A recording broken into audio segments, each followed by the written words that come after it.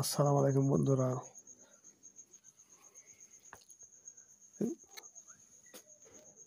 আমি কুই গাছ গাছছি কুই গাছটা এই দেখতে দেখতে বড় হয়ে গেছে। আর যে লাউ গাছ গাছে লাউ গাছটা দেখতে বড় হয়ে গেছে। এই আল্লাহ জানে এই লাউ কবে খাব, এই কুই শাকগুলো কবে খাব। আর আমাদের কাজ একটু যে আমার পার্ক নিয়ে এসে তারা ঢাকা থেকে আছে খুব দুষ্ট। তারা এই দুষ্টামি করতেছে, খেলাধুলা করতেছে।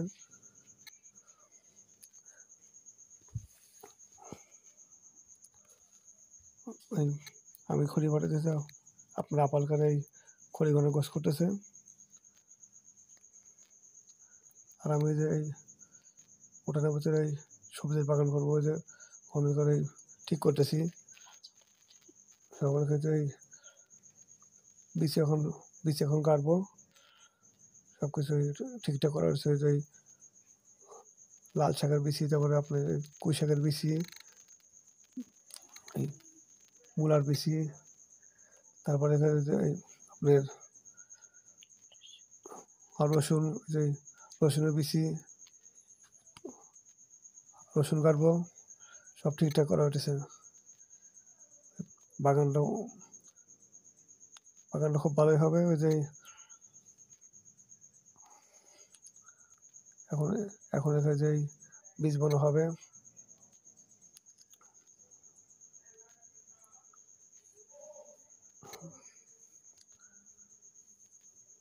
এখন এই যে এই, আমি এখন বীজ কাটতেছি। আমি আমি এখন ওই যে রসুন রসুন কাটতেছি।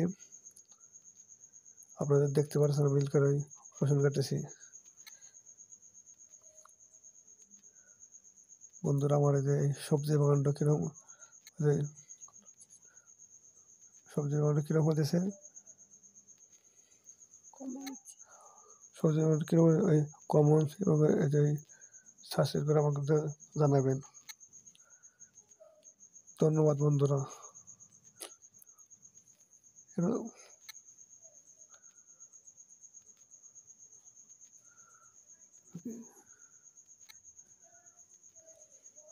আমি আমি বাজার থেকে এই লাল শাক নিয়ে এসেছি।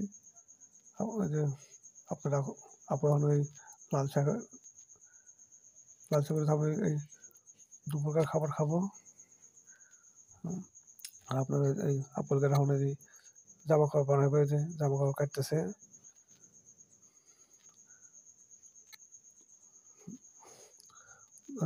জামা কাপড় বানাবে, জামা কাপড় জামা কাপড় জামা পায়জামা বানাবে সব এখন যে কাটবে সব, আর যে ছোটো ছোটো ওই বাচ্চা বলে মানে জামা বানাইছে, জামা কাপড় বানাইতেছে। আর যে বাড়ি উঠানে জামা কাপড়ে যেই অর্ডার দিয়ে দিচ্ছি অর্ডার যেই আপনার আপালকার নিয়ে আসবে।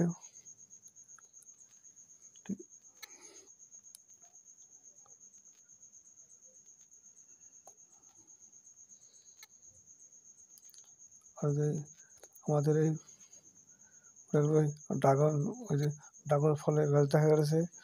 ওই গাছটা খুব সুন্দর হয়েছে।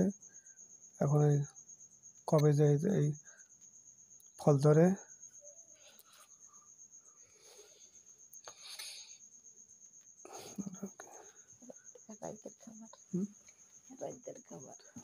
এই আমরা এখন রাইতের খাবার খাইতেছি।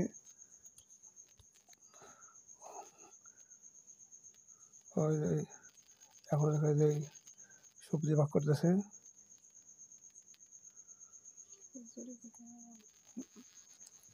এখন আপনারা ওই আপলকার এখন যে ওই সবজি রান্না করতেছে।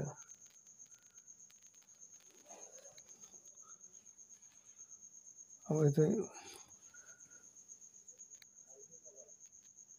ডাউল, তারপরে আপনি যে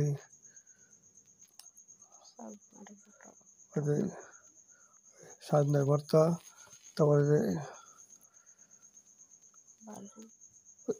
সজনা ভর্তা যে ভাজি আলু আলু দিয়া হয়ে যে এই